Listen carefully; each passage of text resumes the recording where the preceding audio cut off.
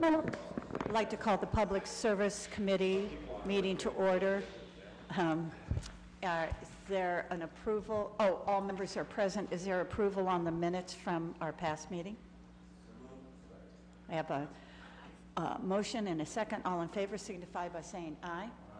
Any opposed? Hearing and seeing none. Uh, We have nothing on the old agenda except for, uh, well, the two items I imagine are going to be filed. Would that be correct, Mr. Clerk? There are objections to uh, Tallmadge Avenue's, I'm going to imagine.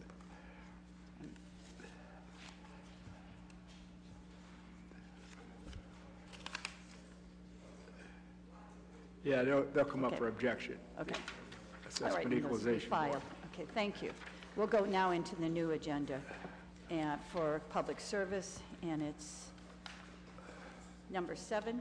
It's an ordinance authorizing the Director of Public Service or his designee after publicly advertising for bids to enter into contract or contracts for the construction of citywide sidewalks 2019 and declaring an emergency. Would that be you? Madam Thank Chair, members of the committee, this is our annual program for our sidewalk Way it's repair. but, yeah. We expect that uh, this year we'll get about 212 projects done. Last year we did about 196, and we would ask for consent. Are there any questions from the committee? Councilman Kammer. Thank you, Madam Chairperson.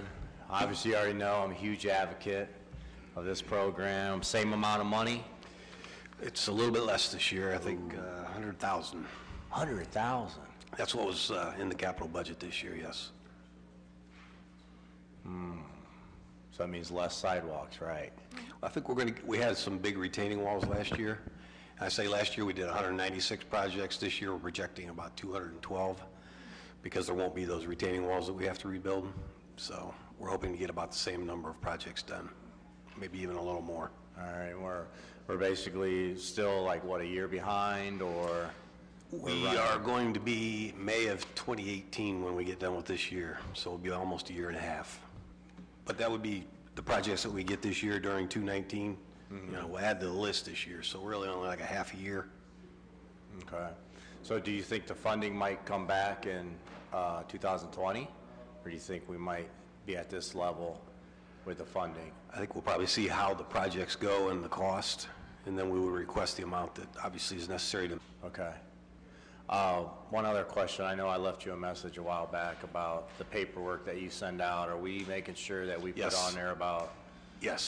I'll These get you a copy of the revised paperwork. okay, I appreciate it. So uh, just to tell the committee, I requested, uh, or a suggestion to Mr. Moore about, uh, I've had a lot of residents, their concern is they just mail the form back, and maybe sometimes it gets lost in the mail or lost in, you know, wherever, somebody's office, and I encourage them to always make a copy before you send this paperwork back, so you have a copy too, uh, so you don't have to start the process over again. So I suggested to John Moore that we include that on the uh, forms that we send out. And obviously, you have it again, so I suggested to John Moore that we include that on the uh, forms that we send out. And obviously, you have a revised form you just mentioned, so if you could get us, or at copy least... the council. I appreciate that, so, thank you. That's all I have.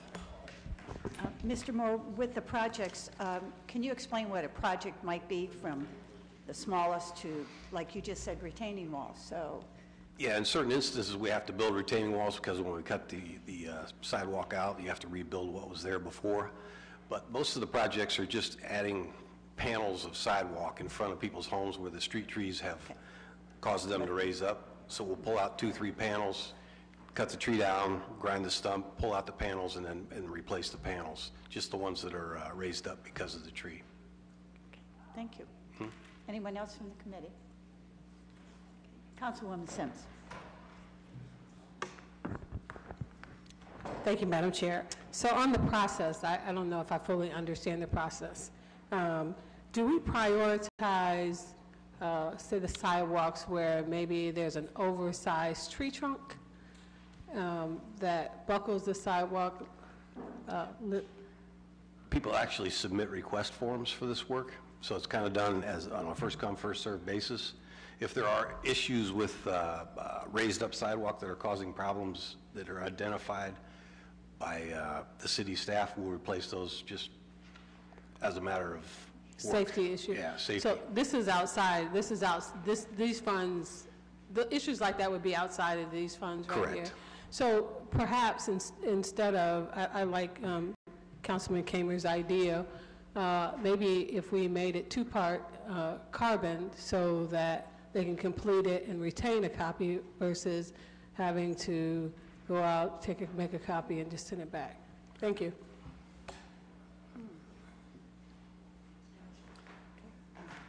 Councilwoman Omobien.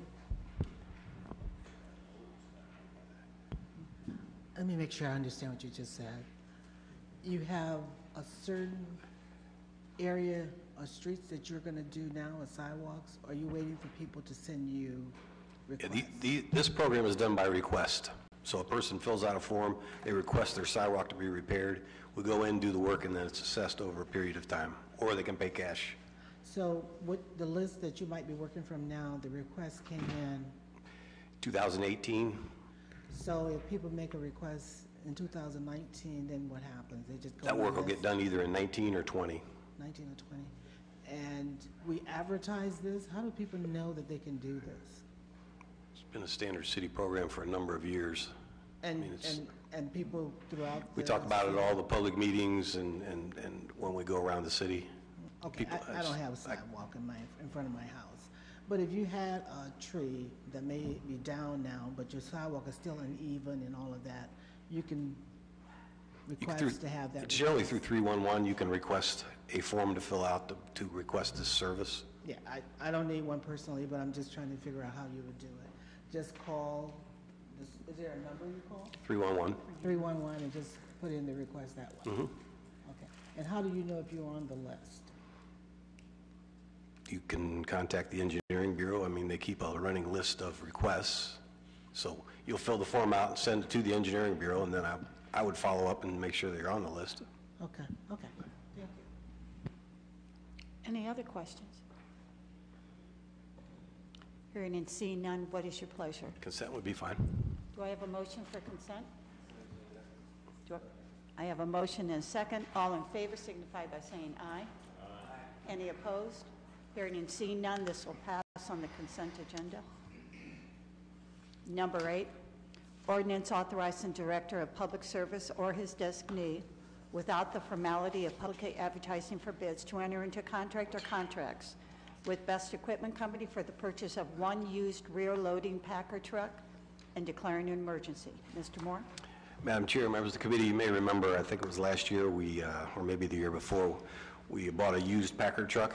Right now, we, in the past, we had rented six packer trucks during our leaf season to go out and pick up leaves. Um, Last year, we purchased one of those vehicles, and we were allowed to uh, reduce our number of rentals down to four. This would be another packer truck that we use similarly for that program, the leaf removal program. We're hoping that then we would be able to reduce our number of rental units. When we rent one, it costs us about $17,000 for the season. That's an eight-week rental. Um, So this, the truck that we purchased over a year ago, it's uh, working as expected. It was a used, used truck, but it's running well and, and doing the job, so we'd like to do it one more time. And how many rentals would we have if we are able to do this? If we're able to do this, we're hoping at the most two. Two rentals. Yeah. And then four that are ours? Yes, Okay. And four to five. We actually have one that's on its last leg, but we're hoping to keep it running. Um, also, can they be used for anything else besides the leaves pickup? That's the beauty of this. When we, when we turn the rentals back in, they're gone. Right. These trucks are used throughout the year by other divisions for other things that we, we do throughout the year. So they have multi-purposes? Yes. So when we own it, we certainly can take advantage of that? And we're Correct. starting to whittle down what we rent by every year being prudent and only buying possibly one? Yeah, as long as they're not on the everyday front line, we can use these, these used trucks, and they work perfectly for our needs. When they come up, I would imagine they go quickly if they're worth anything at all. Correct. So would this be a suspension of the rules? We would appreciate it. Okay. Uh, With that comment, I'm not making that motion right now, but I'm I'm just projecting. Uh, Are there any questions or concerns from the committee? Okay. L- uh, Is there a question, Councilman Neal?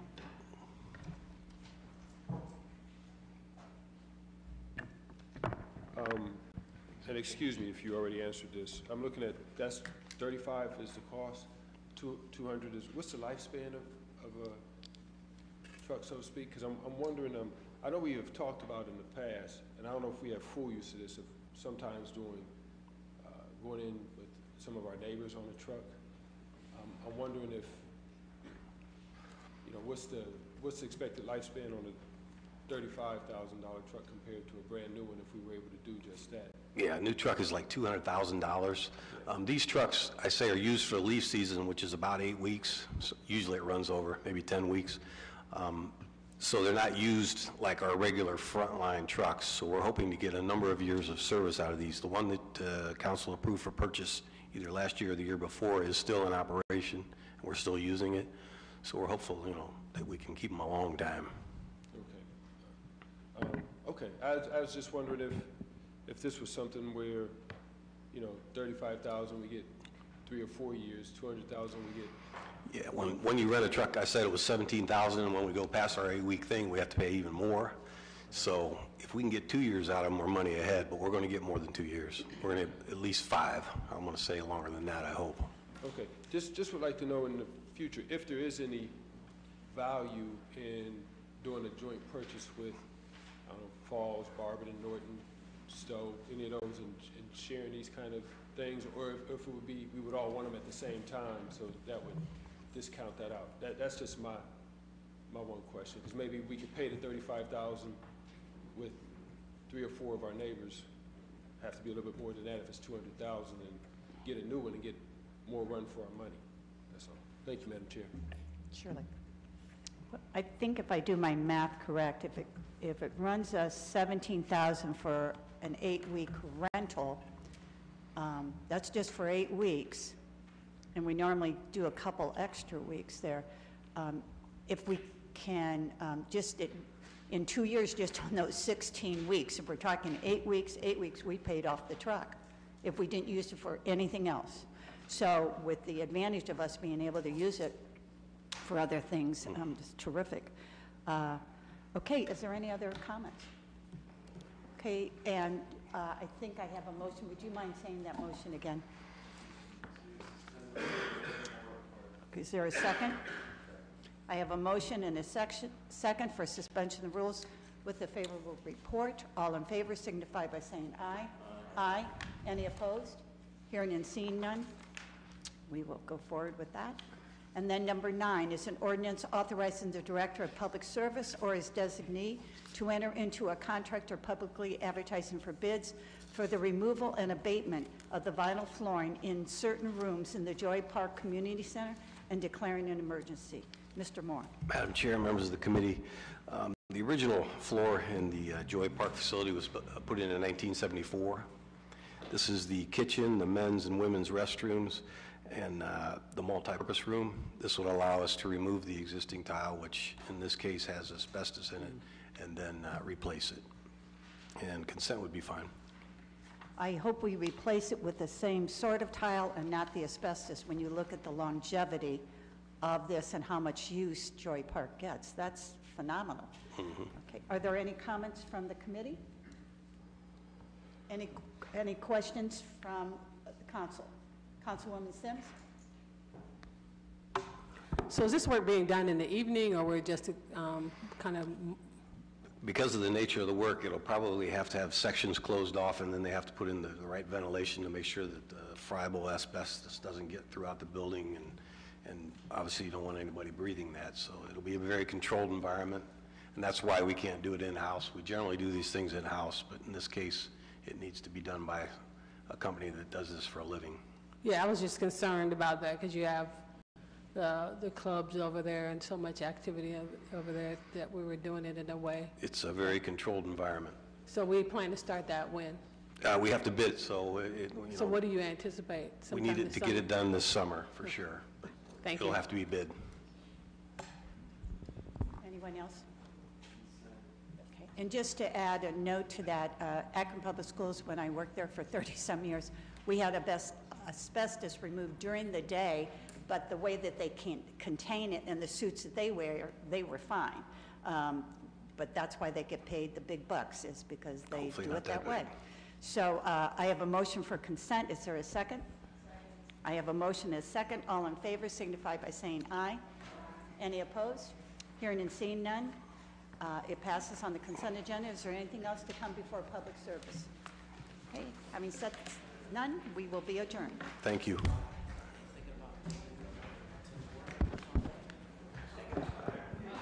Okay, next we'll have public safety.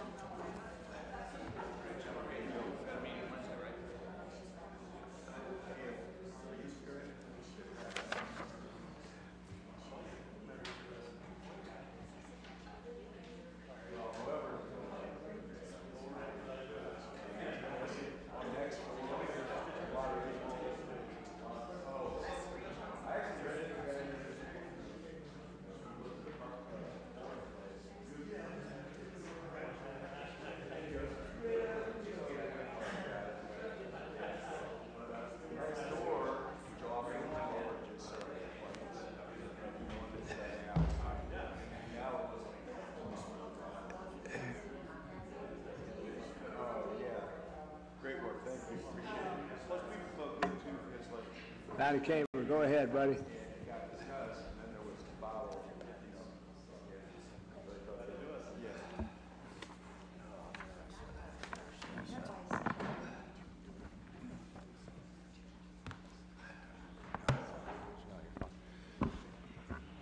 Right, we're going to go ahead and move forward and call a public safety meeting to order, please. All members are present. We did hold a meeting, not last week, but week before. Can I get approval of those minutes, please? Uh, all in favor? Aye. Aye. Anybody opposed? All right, we have three new pieces in front of us today. Uh, First one, uh, authorizing the purchasing agent without the formality of advertising for bids to enter into a contract or contracts with Matrix Point Software LLC for the purchase of user license to assess and use the Matrix Point software and declare an emergency. We have uh, several individuals, but I'll let our Deputy Mayor of Public Safety, Charlie Brown, introduce everybody involved today. Thanks. Mr. Chairman, thank you, and the committee, thank you for the opportunity to share about this. This is a software that will enable case tracking uh, for the sharing of information between detectives and prosecutors. Um, It is paid for by the grant uh, we received. It uh, came before this body, mm, I'm not sure, maybe three, four months ago. I'm not exactly sure the date, but, so I'll be uh, more than happy to answer any questions from any member of the committee. All right, thanks. Uh, Uh, Introduction-wise, Yes. Major Please. Jesse Leeser is um, two down from me. He's a a subdivision commander for the Detective Bureau. And then Major Capers is the subdivision commander for um, the from Subdivision. And to my immediate left is Mark Pettit, the CIO, um, acting CIO for the city of Akron. All right, thank you. Uh, Any questions, uh, committee members? Councilwoman Sims, please. Thanks, Mr. Chairman. If we can just get a, kind of like an explanation of what the software is for. I see, and, and and maybe in adding, uh, answering that question, is this, the use of the software uh, just limited to Akron Safety Forces, or do we share that outside of, outside of our, im- our immediate safety? So th- Department. this is additional licensing for the Matrix software system that we have put in place already, uh, that's shared by the prosecutor's office, Akron Public Safety. There are other communities that use the same software. We had a leveraged purchasing agreement to have decreased licensing, um, but those are are typically used in silos for each community. Good. So you said l- lever- leveraging for purchase purposes, but they don't have access to our information, is Um, that correct? The information's only shared when the agency deems it appropriate to share with the other agencies. So the answer is, as a, as a practice, no, but if there are Correct. occasions where if it's merited, we'll, sh- we'll share that, Yes. if that's the answer. Thank you. Thanks, Councilwoman. Any other questions, committee members, comments? Other council members? All right, with that, uh, what's your pleasure Suspension on the rules, please. on this one? Second. I have a motion and a second by Mr. Swirsky. All in favor? Anybody opposed? All right, we'll uh, suspend the rules on that piece this evening. Thanks. On to our next piece, uh, authorizing the mayor or his designee without the formality of publicly advertising for bids to enter into a contract or contracts with LLC for the purchase of dedicated public safety department servers and software at Involta's Akron Data Center and declare an emergency. Charlie? And Mr. Pettis can speak to this. He's the most knowledgeable.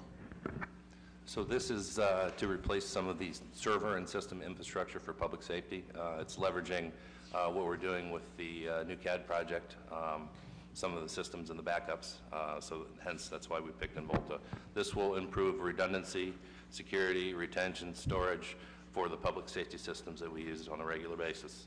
Um, Better uptime and reliability using Involta, uh, their infrastructure as a service. And I'd be happy to entertain any questions. All right, thank you. Any questions from committee members?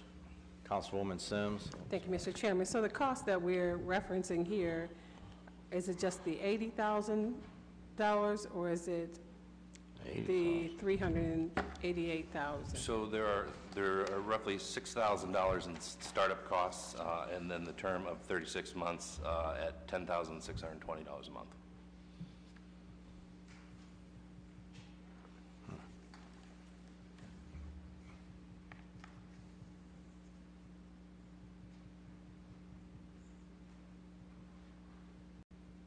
Are you finished with your question?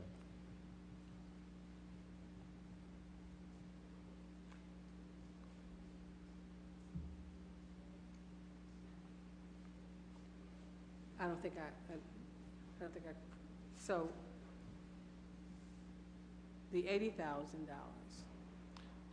what is the $80,000? I don't have that in front of me, ma'am.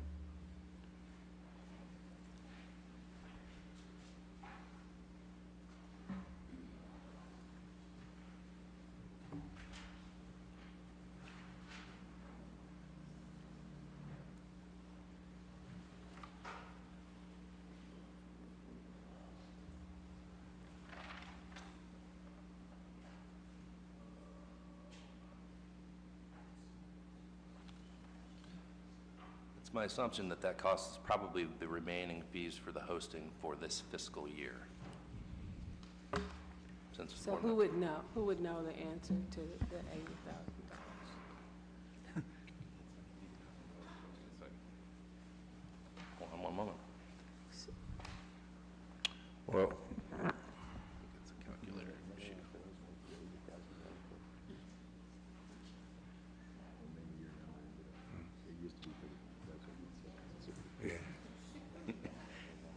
Hey, take it, man. If I'm giving it to you, take it. Looking at 1,008. Yeah, that's, the calculation comes out to uh, the remaining months in the year at $10,620. So it probably won't be deployed till uh, the end of June.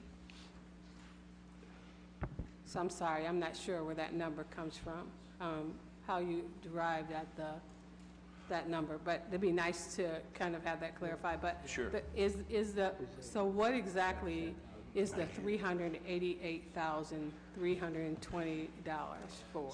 So that is for a 36-month term for hosting systems at Involta. For hosting systems, we're not, we're not purchasing new servers? This is, this is an infrastructure as a service, is what it's called.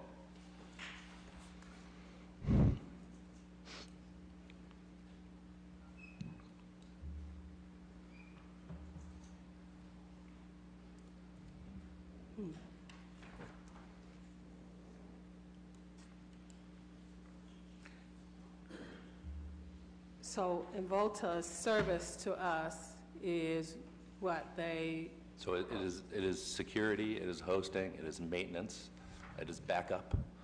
Um, so this is a pretty significant uh, amount of money. So I would just think there would be a little more explanation as to what the resources were for, and greater clarity on this dangling $80,000 that's out there. So I'd appreciate really having, having that information. Uh, We said a 36-month agreement to purchase critical services and systems, kind of like, you know, like, like what is that? Okay. Um, So that would be just helpful. All right. Um, the- These services that we intend to purchase from Involta um, keep us from investing in our data center here, uh, which is high maintenance from a staffing perspective, from a um, a cost of utilities perspective. Uh, Typically, uh, individuals in my position are getting out of the data center business, uh, so opting to host with Involta. uh, They have the uptime, the resources, the expertise to maintain these key public safety business systems, uh, and and the uptime required for public safety is is pretty substantial. If I could. Yeah, go ahead. Thank you, Mr. Chairman. So if you recall, most recently, um, that's why we asked for an overall plan Yes. uh, relative to IT. So Yes. we don't have to come in and do the, the, the kind of piece this, we're going to do that and the other. I'm sure that what you're saying is probably true, but it's hard for me to really see that because I don't really know what that is. Yes. We hear words um, like uh, current de- deterioration of our infrastructure, but I don't really know what that is. So for me, greater clarity would help me help you to Sure. get what you need when I understand what we already have. So uh, that, that is why, uh, my, for my line of questioning. So thank you. I understand. Thank you, Councilwoman. Uh, Any other questions, committee members, comments? Uh, Council members? Uh, We have Councilman Rossdale. Go ahead. Oh, You grab my microphone. Thank you, Mr. Chair. Just to piggy, several times we've asked for information regarding a comprehensive plan. Um, Going back to when Rick Schmaltz used to be here, the city was dead set on um, housing everything, saying servers were the way to go. If I understand you, what this right here is for, is this cloud-based, or is this just designated servers that are uh, being um, maintained by this service provider? This would be considered a private cloud. A private cloud? Yes. Which, okay, this is my concern, and it goes back to the piecemeal piece. We have never been given a, a comprehensive overview, because um, for what we're spending here, I know cities that have had their, we use the term smart city, their whole system online, where, I mean, it's not just storing, I mean, they're actually doing their policing from a smartphone. Um, So it would be good for us to have this comprehensive look. I think, uh, if it was not last, yeah, it's going back to last year, when we were talking about combining some of our service with the county, we had asked at that time, we were supposed to get some information. Because I'm, I'm, I'm not saying that this in itself isn't the way to go, but the way we're doing it, we're just looking at the police department and not looking at the overall city's uh, IT infrastructure, I know we're spending more than So- we need to. Um, Yeah, I'd be happy to address that. Um, We, we do have, we are in the development of a comprehensive plan. In the next 60 days, you will see something delivered by me uh, regarding our overall IT strategy.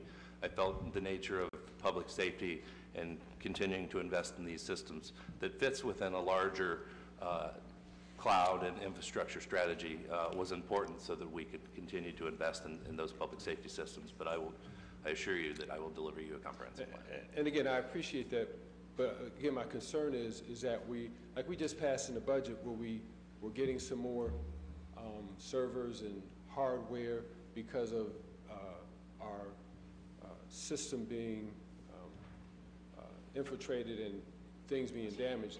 And again, because we, we had to do that, my concern still is that uh, we're making expenditures that if we had this comprehensive overview right now, we may not have to make. So, um, let me ask you this, this contract that we have is for, did you say three years? Yes.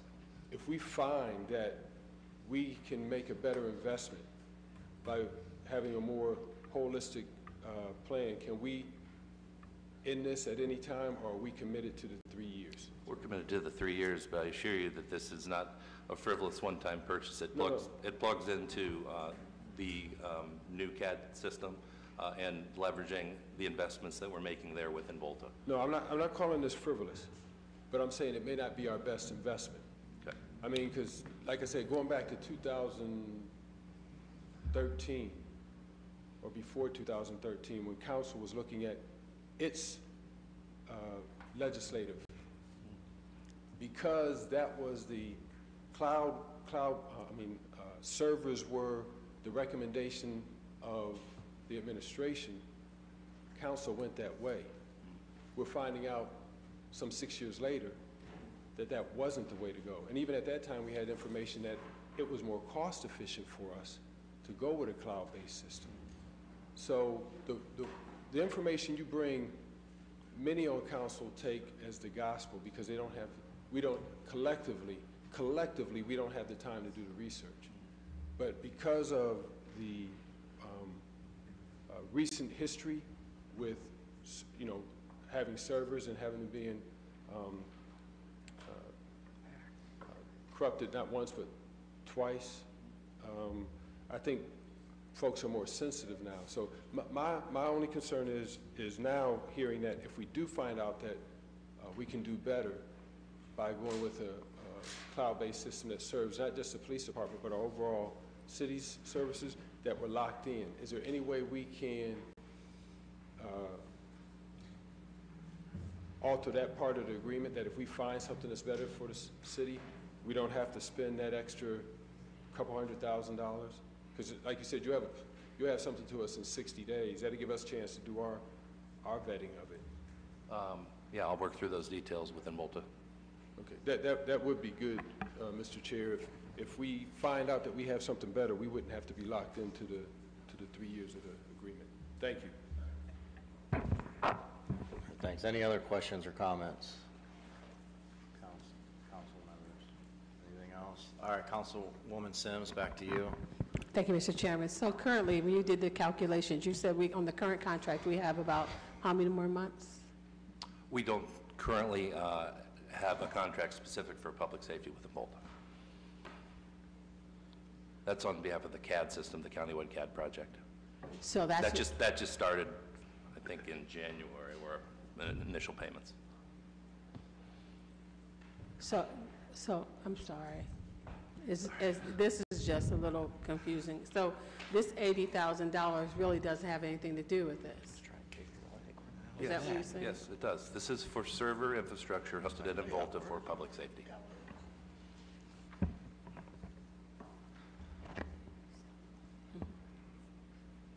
And the 45,000, is 34,000 is the same? Believe that's uh, separating the costs between police and fire. Okay, you're right. So, yeah, if I can just get just a little more clarification as to what this is, that would be very helpful. Okay.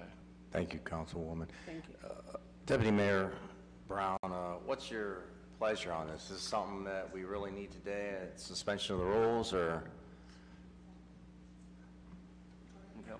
Um, The nature of the public safety systems are critical, um, and and this will allow us to add additional redundancy and backup. Um, I I would prefer suspension of the rules. Mr. Chairman, I would ask for a consent a- agenda if All you wouldn't hold- mind. I'm- Hold on, please. Thank you. Um, Yeah, I mean, I, I, I- I just, it's a question, we could question, because there's a lot of good questions today, and uh, I think we could have brought some more details and facts into the chambers. Um, But I'll leave it up to the committee in regards to how we're going to proceed. Uh, Anything else to add to this piece before I ask for what the recommendation is? Councilwoman, go ahead. Because of the number of questions, if it were placed on the consent agenda, um, could, could you handle that? Would it, um, would you be okay? Would we be okay? Would, would what we're trying to protect be okay? Yes. No, uh, it makes me feel a little more comfortable too, because that gives us another week, you know, of making sure uh, all our questions are answered and everything, so I appreciate that. Um, So, committee, uh, recommendation, Motion for consent? Second. I have a motion and a second, all in favor? Aye. Aye. Anybody opposed? All right, uh, if there are any questions moving forward, Charlie Brown, where should they be directed to? Or, Mr. Pettit, all right, he has the email address that did you have, that you have access to. okay, thanks. How do you spell the last name? I apologize. Okay, all right, thanks. All right, moving forward into our Mr. last Chairman. piece. Huh? So will, in a, in addition to any other inquiries that committee members or members of council might have, will that come, the questions that were posed today, will that come back to us in that, in a, in a, in- in a uh, response format that will come Yes. to the committee? Thank you. All right, thank you, thank you. All right, moving on uh, to our final piece. Uh, It's a resolution uh, offered by Mayor Horrigan opposing the passage of Ohio Bill, Ohio House Bill 174, which would further enroad restrictions on gun possession in Ohio and permit the carrying of concealed firearms without a permit and declare an emergency. And obviously, once again, we have Deputy Mayor, Public Safety Charlie Brown. It looks like we have uh, Ellen uh, Lander Nischt here. So whoever wants to speak first? I'll speak, Mr. Chairman. Thank you very Okay. much. Um, So I'll start by saying that this is about a 140-page bill, and it just was introduced Wednesday, so might not be the expert, but I'll do my best to explain briefly what the bill is and why the mayor is opposed to it and why we're asking for your support as well to be opposed. So this is what is um, commonly referred to as constitutional carry. A bill of this nature is introduced um, probably every General Assembly sesh- session. Um, What's different this year is that Governor DeWine has expressed his general support for the bill, so it's likely that if it is passed by the General Assembly, that the governor will sign it. Um, Kasich, on the other hand, was not supportive of this sort of legislation, so it- it has a a better chance this year than, than in past years. Essentially, what it does is it abolishes the current concealed carry license uh, re- regulations in Ohio. So you no longer need a license training to carry a concealed weapon, and it also expands the type of weapons that can be carried concealed beyond just handguns to also rifles, um, shotguns, guns of that nature. Additionally, um, it removes the, the requirement that if you are stopped by a police officer and you have a weapon on you, you no longer have to inform a law enforcement officer that you have a weapon in your car, a, a a handgun in your car. Um, If you are, if a police officer notices that you are, appear to be carrying a concealed weapon, it's no longer a valid reason for an individual to be stopped or questioned. So if an officer sees a gun in your waist belt, they can't ask you if you have a license, if you're legally carrying that weapon because you no longer need a license. So even if you were a felon who was prohibited from carrying a gun under the law, a police officer can no longer ask you about that gun you're carrying just by, gun you're carrying just by noticing that you're carrying a gun. So those are some of the highlights or lowlights of the legislation. I'd be happy to answer any questions I can, but essentially, we're trying to send our, our strong opposition um, to our, our state delegation. Thank you, Alan, I appreciate that. Um, I do have a question before I turn it over to my colleagues for questions. You two, have you two read the resolution? Obviously, you're here in sup- opposition of this. I read uh, the document, uh, skimmed most, but at the areas where it said they were making changes, I did read the document, and I'd be happy Okay. to answer any questions you might have. All right, so my question is, we're going to go to, I don't know if you have the resolution in front of you, but the third whereas, uh, where it says House Bill 104 would also remove the duty of motorists to notify, et cetera. I know Ellen briefly spoke about that, but I, what I want is basically an example or scenario of the current process when an officer is pulling a vehicle over, what he or she is going to encounter in regards to approaching that vehicle, and- and then what the changes would be to that uh, police officer, if you can explain both of those. What should happen now is if, uh, law enforcement officer approaches a car uh, being operated or uh, by a person who has a concealed carry permit, the law requires them to keep their hands in plain view and to immediately notify the officer, I'm a concealed carry permit holder and I have a firearm in the vehicle. Um, The way I understand the writing of the House Bill 174, they would no longer be required to have, make that notification. Um, I can, Now, also currently, under uh, whatever law we have currently, is the license plate is registered also with the BMV, where that officer is able to run that license plate and find out if the individual, the owner of that vehicle, has a license, correct? Yes. So with this House bill, that could wipe that out, or we don't know? I'm not familiar with that piece. Correct, because you would not be required to get a license and share that information. So you could carry a concealed weapon in your car on your person without notifying the state of anything about your identity. Right, okay. Legally. Well, that's basically my main concern in regards to this resolution when I read through it, so. All right, thank you for answering that. Any questions, uh, comments from my colleagues on the? Oh, Just a real quick comment, and we also have some other individual- and other individuals who will want to share their concerns too. This notification process is huge. It keeps everyone safe. When there's an interaction between a law enforcement officer and a person who has a concealed carry permit, it's huge. And then to expand that to long guns, uh, long guns being rifle, when there's interaction between a law enforcement officer and a person who has a concealed carry permit, it's huge. And then to expand that to long guns, uh, long guns being rifles or shotguns, uh, individuals could walk around public space with those bulges, and they- they could actually um, uh, go into stores and be in parking lots or Lot 3 or ball games or whatever. So it causes great concern. Also, um, the major has spoke. We also have Sergeant uh, Frank Williams as the FOP president, um, who's willing to share some of his thoughts with the committee today t- as well. And actually, uh, Major, can you go anything further, Major? Sure, yeah, I have a couple of comments. Um, Sorry. You're okay. I'm right. going by rank. I'm just- No, I'm that's fine. I didn't really need him to speak, but go ahead. Are you good? Major, are you going to speak, or am I out? Yeah, let me just jump in and finish up. Uh, I had three specific concerns about it as I read through. One is, uh, as you read the, the new definition for deadly weapons, it appears as though we have to follow suit with other states in their definition of deadly weapon. And I'm concerned that other states are going to be able to inform our understanding of what a deadly weapon means without any ability to impact that decision. It appears as though the House bill requires us to uh, adopt other states' definition of deadly weapon. So that's a concern that I have. All right, Um, A thanks. second concern, uh, under 2923-111, uh, it appears as though that can be construed to restrict law enforcement from intervening in the event that that officer, through their education, training, and experience, would recognize a weapon that appears to be an automatic weapon. So let's say even a person walking down the street carrying an open carry automatic rifle, my belief, based on what I read at 2923-111, we wouldn't be allowed to detain them for the purpose of inspecting the weapon to see if it's fully automatic. This is just my brief understanding of what I read.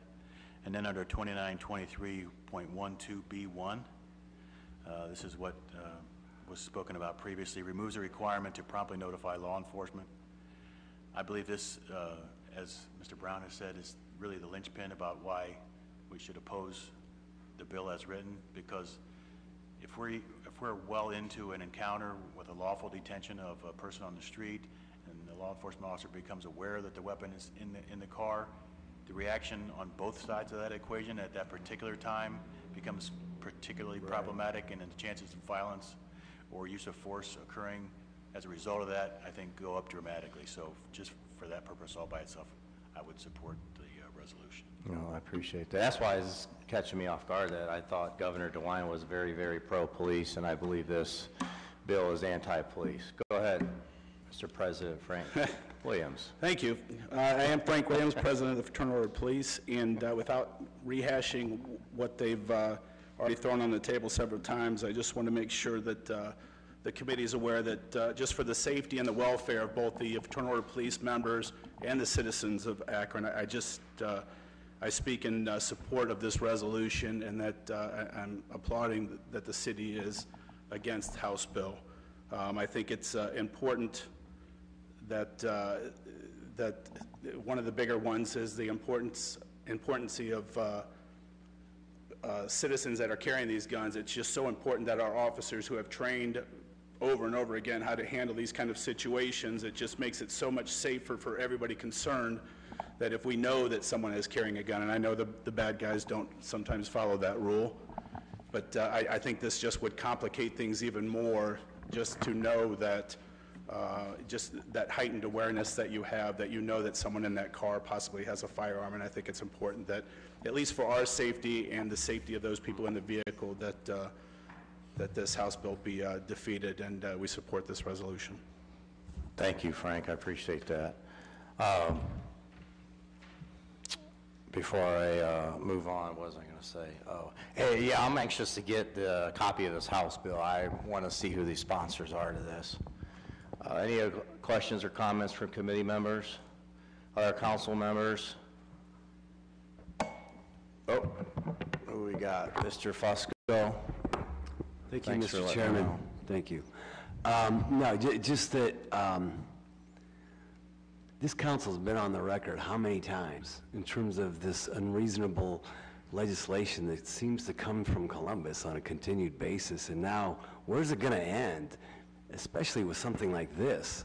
I mean, it- they- they- they've liberalized the laws in terms of, you know, entering schools, entering eh, churches, bars, restaurants, um, and now, uh, I- and of course, we've, we've seen the erosion of our home rule in order eh, for us to do something about these type of situations. We- we- Our hands are totally tied because they've taken away our home rule or worked on eroding that, that piece of it. I'm just, um, the majority of Americans want reasonable legislation, reasonableness.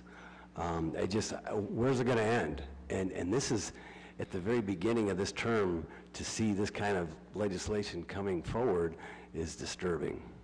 Hmm, Thank you, Councilman, I appreciate that. Back to uh, Ellen, see. Thank you, Mr. Chairman. I just, um, working off of uh, Councilman Fusco's comment, I did want to raise another uh, issue, and some of you may be aware of House Bill 228, which passed at the end of last session. Um, And it actually, uh, Governor Kasich vetoed that, and it passed over his veto, and that essentially purports to, um, while we don't think they could strip any more of our local control, it essentially purports to strip all control from, from local cities um, and communities as far as gun regulation, going so far as to say that any laws we passed are null and void, even if they mirror uh, or in our line with state and federal law. So we're looking at that and our options um, as far as a challenge on a home rule basis, but just wanted to bring that to your attention as well. Um, Parts of that bill have already gone into effect, and other parts are, are going to go into effect in September, particularly the uh, excessive preemption portion. So we will give you guys more information about that and keep you um, informed as to our strategy. Okay, Thanks, Alan. I appreciate that. Uh, Coun- I did have a hand up over there first, all due respect. Councilwoman uh, Mobian?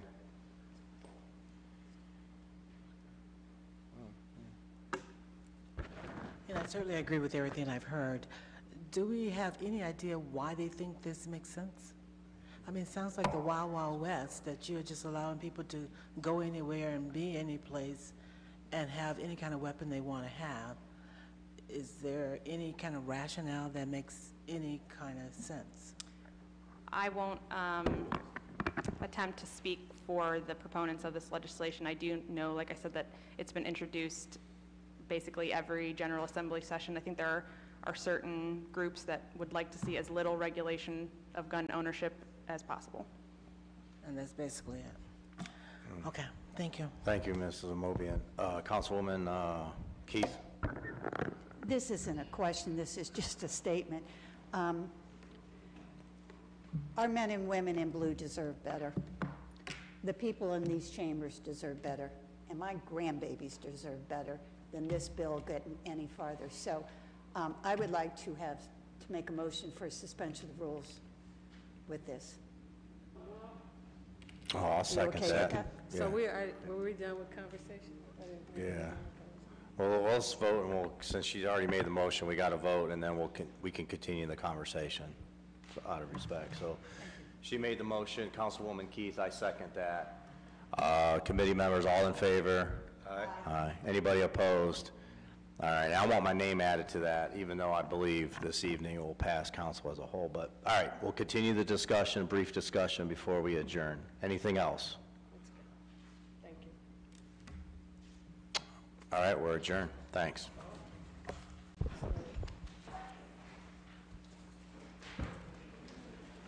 ask if there's any questions and then make a motion. I mean, a little common sense. Okay, next we'll have Parks and Recreation as soon as the chairman's ready.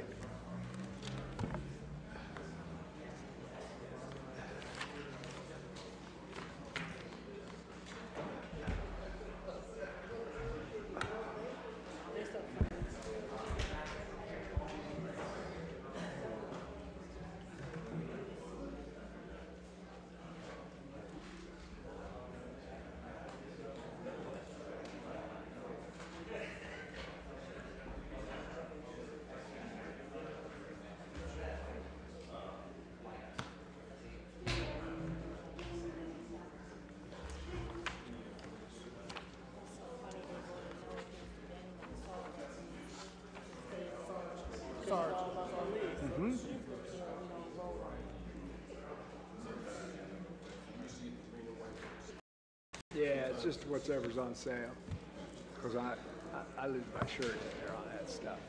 People don't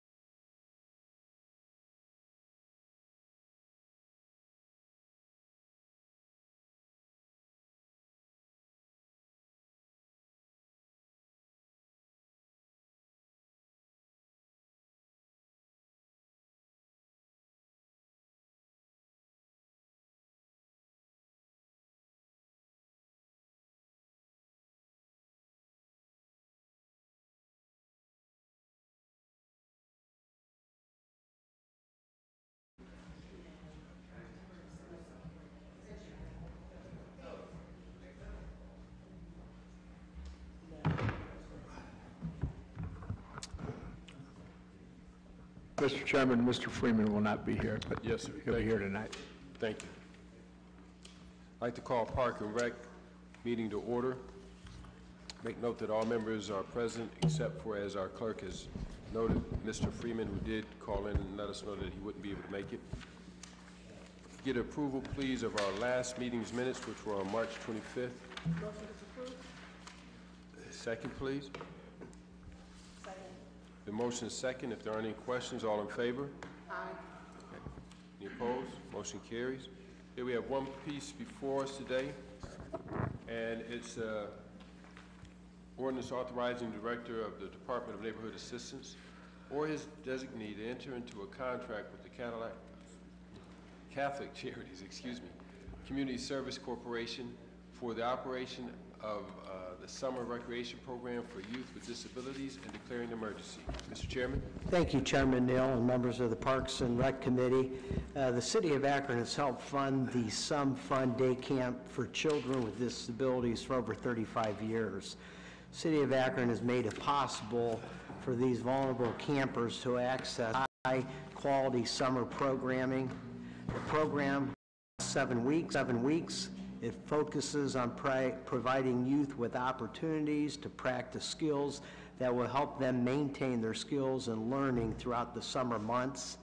From 9 a.m. to 4 p.m. each day, the campers participate in activities that allow them to practice fine motor activities, uh, activities such as arts and crafts, cooking, fishing, swimming, horseback riding, rope challenges, and all kinds of field games.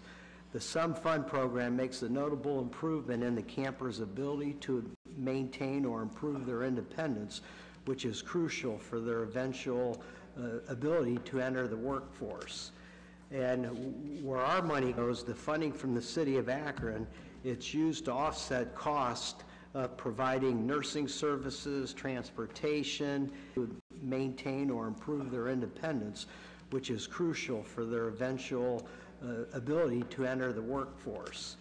And where our money goes, the funding from the city of Akron, it's used to offset cost of providing nursing services, transportation, activities, personal care, activities, personal care, and supervision to youth with uh, various disability, uh, development disabilities. And then in 2017, uh, they start providing shuttle services that uh, went out of two of our community centers to help the parents to, to take care of their transportation needs. I do have a handout for all of council. I will pass it out uh, momentarily here.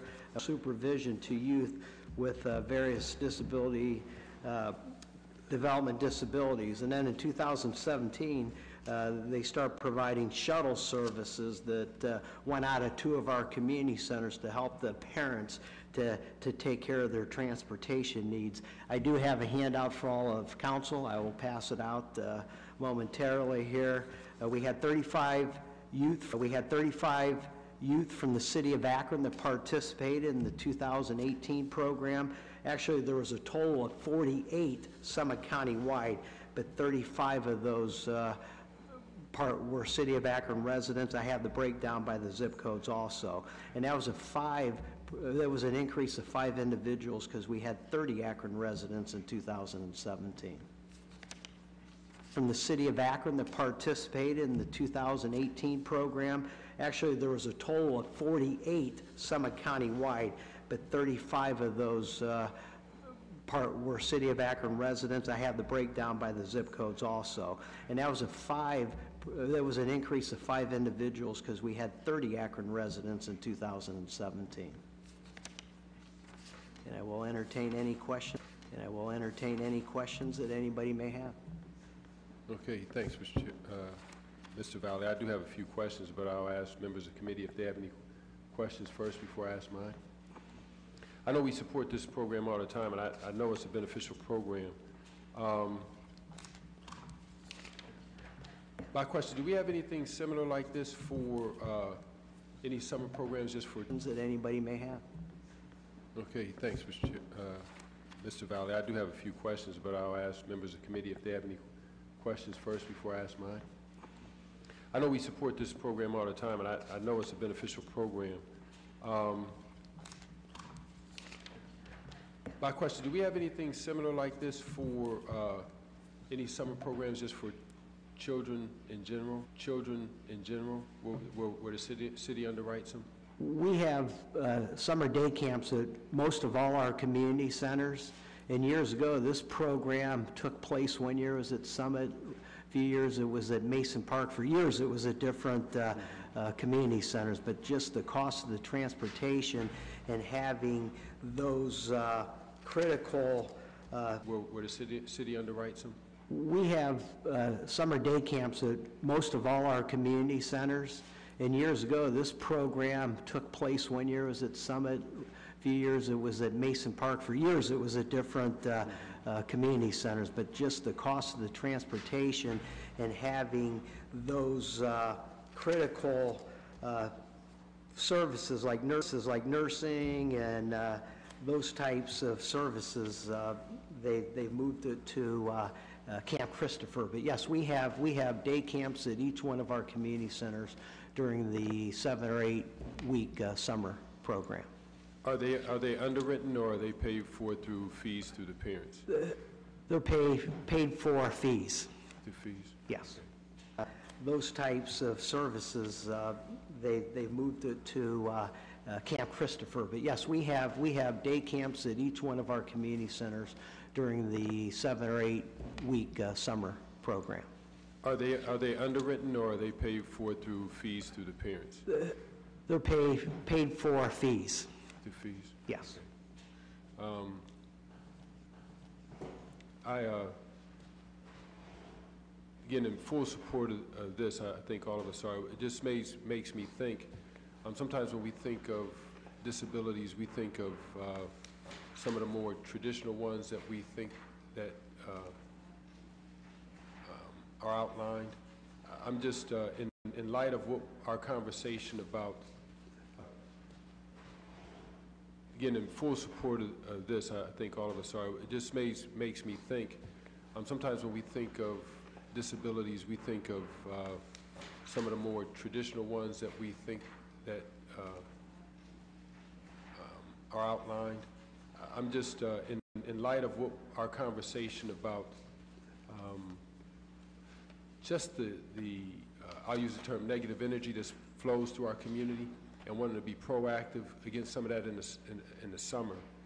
And especially understanding the, uh, repercussions of children that are impacted, um, or are in those environments where there's a lot of negative, uh, energy. I, I'd like to see us, just the, the, uh, I'll use the term negative energy that flows through our community and wanting to be proactive against some of that in the, in, in the summer. And especially understanding the, uh, repercussions of children that are impacted, um, or are in those environments where there's a lot of negative, uh, energy. I, I'd like to see us, we just passed a budget, uh, put some thought on how to support our Park and Recreation Department to be able to provide some, some of these experiences to children that uh, may have been impacted by the violence in our community. I mean, to be able to go fishing, to be able to go horseback riding, where the parents may not have the money. Um, That's a conversation more so for council. Uh, In, re- in relation to this, this uh, sp- specific piece of legislation, um, if there aren't any questions, uh, Madam Thank you, Mr. Chairman, not a question, but I just want to say I appreciate um, the breakout and seeing how the resources are being dispersed really throughout the city to support children um, uh, with disabilities to participate in summer camp. So thank you for I that. I appreciate that. Yeah, this is helpful, thank you. Any other questions from members of committee or any members of council? Consent agenda would be perfectly fine. Okay. We have plenty of time here. Okay, thank you. Been motion and second for consent. If there aren't any questions, all in favor? Aye. Any opposed? Motion carries. Thank you. Mr. Hardy? Just want to make a plug that, uh, happy April, but then also the applications for this year's Parks Challenge are opening today. And Bridget is, yep, Bridget is more than happy to come to ward meetings. If you don't have Bridget's uh, info, I will make sure that Sarah and Holly have it. But she can come to ward meetings, community meetings, whatever you need her to go to over the next month to promote the event, or to promote the application process. And that app- application can be found on akronparks.org. Thank you, Mr. Hardy. The amount? Thank you, Mr. Chair. What's, how much money do we have? Uh, we have 200,000 this year, so to- we're anticipating two parks, each to get a $100,000 grant, unless we get, like what happened last year, the Knight Foundation or someone. Are we looking uh, for, are we looking for some, some more dollars so we can get three? Always looking for more dollars. Yeah. But yeah, last year, the dollars uh, materialized because the selection committee really fell in love with three parks, so the Knight Foundation chipped in to make it, to make three work. Anything's possible, but we have budgeted for sure um, $200,000 for this So our, year. part of our role is to make them fall in love with a third park? get, get all neighbors, friends, allies to, uh, to pitch their park, to apply for their park, um, give us their best ideas, but again, it's not so much how great your ideas are, it's, it's your fervor for the neighborhood and how you can bring people together through a planning process. So you don't have to be the world's greatest designer. You just have to be passionate about your neighborhood. So let me ask you this. It- Have we, have we considered asking um, the Civics Commons for resources? They do provide resources. In fact, last year, um, they provided uh, resources for all of the three planning processes, but then they also hosted a workshop, a half-day workshop for those that did not win, but wanted to uh, bone up on their grant writing or on um, other resources like KAB that could help in the meantime. So yes, Civic Commons is a partner on this year as well. Okay, thank you. See, we have Mr. uh, Valley and Mr. Rice have some more information for us. We just want to make a plea with council. Um, We, we need to hire at least 15 lifeguards, and uh, council should have received the PDL that went out Friday from uh, HR Director Rice. And uh, you saw in our survey and our strategic plan that aquatics is very extremely important to all the residents in the city of Akron. And our goal is to open up both pools each day, Reservoir and Perkins Pool, and that would be Monday through Saturday. So we feel that we need at least 16 lifeguards, but I'm going to refer to Director Rice, and he's going to talk a little bit about it. Yes, we do need um, uh, at least a dozen lifeguards at this point. It's a great position. It pays, I think, uh, was it 11, 15 an hour? They're going to get a, maybe a 2% raise. and plus whatever raises are negotiated. In addition, uh, if kids have the ability to swim, but they haven't been trained as a lifeguard, we've uh, put together with the, with the Division of Department of Neighborhood Assistance, a training program that would reimburse the kids if they take a job, if they keep the job all summer with the city of Akron, or we will reimburse them for the training. So it's just a great opportunity for kids to get some summer experience and, and to, you know, help us, uh, you know, help the littler kids have a great summer.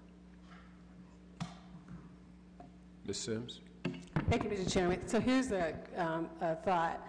Do, are we partnering with APS possibly as a place where our kids can really learn about water safety since we have a, school right across the street?